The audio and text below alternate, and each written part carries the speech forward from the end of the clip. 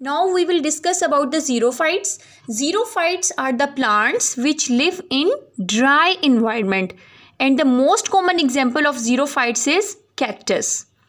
They have many adaptations to live in dry environment. Uh, they have adopted for to increase the water intake to limit the water loss and to store the water efficiently.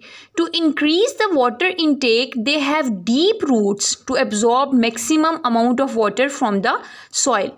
And to limit the water loss they have two structures. First they have thick waxy cuticle over the epidermis so that they can reduce the water loss from internal tissues.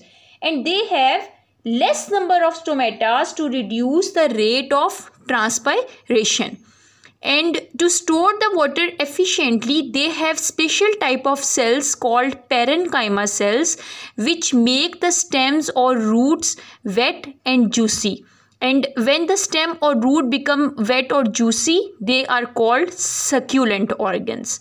So these, these are the adaptations which xerophytes have to live to survive in a dry environment